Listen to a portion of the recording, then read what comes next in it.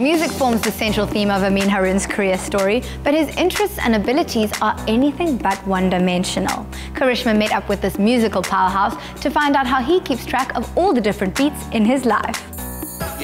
Ameen Harron was still a teenager when the DJ bug first bit him, but he soon became bored with playing other people's music. His own creative drive took over, and by 14, he was happily deconstructing an eclectic variety of musical genres. He taught himself to play a small orchestra of instruments and acquired the formal training of a sound engineer, and is now the go-to producer for established acts and rising stars. Ameen Harron's lifelong fascination with music has made him one of the most exciting musical talents to come out of South Africa. DJ, singer, songwriter, producer. When it comes to music, there's nothing this guy can't do. Hi, Ameen. Hey, Carishma. Come inside. Cool. So cool to finally meet you. Likewise. Please have a seat. I mean, your love affair with music started from a young age. Where did it all begin? When I grew up, my mom was a stay-at-home mom. My mom was into all different kinds of music, and I got inspired by so many different artists growing up. And like, I was always wondering, like, where, where does this music, uh, like, inside the radio come from? As a kid, it, it pretty much started from that point. Ameen is now the guy who puts the sounds in the radio and his peers in the music industry are drawn to his inventive mind and technical skill set, not to mention his passion for his craft.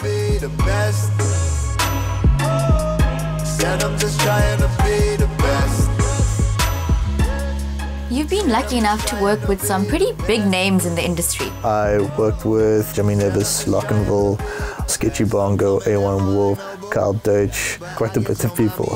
You're a DJ, singer, songwriter, musician. Which one do you enjoy the most and why? I run a record label. With that, I have my own artists to, to take care of and the artists who are actually our clients, so that keeps me probably the most productive.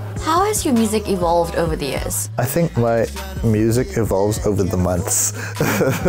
like, I'm always listening to new and different styles of music. I don't ever really like confining myself to a single genre. I just feel there's so much to be inspired by. There's no point in being just a one-dimensional artist. I'm completely fascinated with trying to make genres that don't work together work together and finding a middle ground. I feel like it's basically my road to eternal inspiration. It's just I'm always listening to different music, so I'm always evolving somehow. Ameen has also established himself as an artist in his own right, using the alias of Wimp, which stands for What I'm Feeling. Whether he's performing or mixing, Ameen exudes a sense of quiet energy, like a humming generator in a power station. You have quite a big following on social media. I would know I stalked you just a little bit. How important is a good social media platform to an artist these days? I'm obsessed with my job and I feel like social media is a means for marketing.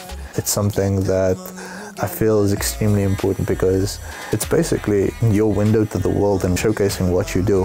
When a brand opens your social media, they should be able to see that person is a painter or that person is an actress. It shows professionalism, it shows dedication. What have been some of your career highlights? I had about five or six tracks go national. Also AKA's album going platinum, Kwesta's album going platinum and also winning multiple awards this year for best album and also won a Golden Loerie for Best Original Music and Sound Design last year. Have you faced any challenges? Every single day. Any entrepreneur has challenges, a lot of unexpected things. Uh, come into play, especially in a creative field. When uh, you deal with artists, you don't necessarily deal with professionalism, you deal with passion. You're known for being quite a stylish guy. What is your approach to style and fashion? Well, I think growing up with a sister who's pretty much like pioneered what she's doing with uh, fashion blogging um, and a mom who has literally been my whole life a low-key dressmaker. Um, Actually, I could give you long stories about that, but I could show you firsthand instead. I'd love that. Should we get going? Cool, let's do that. Cool.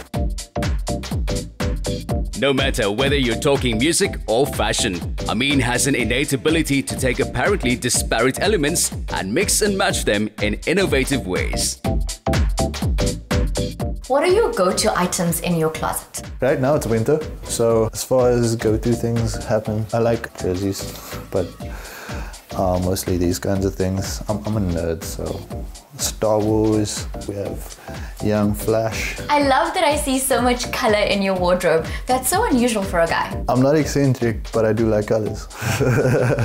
like, I'll wear a bright pink hoodie with a white t-shirt underneath it.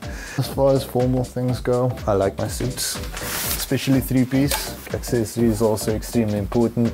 Basically pocket chafes, your watches, extremely important, different colors. How do you balance having to be quite trendy and funky as a musician, but then also dealing with the very corporate business side of the industry? It's like vocabulary. The way I would speak with my artists is not the same way I would approach corporate clients. There's a sense of etiquette that has to come into play. They say that you should dress for the job you want and that's why you should dress better than your boss.